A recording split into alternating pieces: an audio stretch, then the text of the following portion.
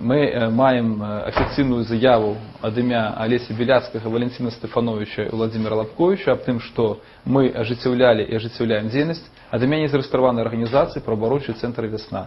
І то, що діяльність правооборончого центру «Весна» не спинялась ні на хвилину, починаючи з 2003 року, з організації.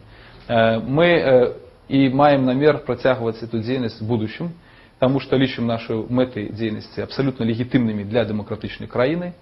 Ось, і лічимо те, що е, наявність в Кримінальному кодексі такого артикула 193 прим, який предугледжує кримінальну відказність за діяльність неізвестованих організацій, порушаючим Конституцію Республіки Білорусь, так само не відповідаючим Міжнародному пакту в громадянських і політичних правах.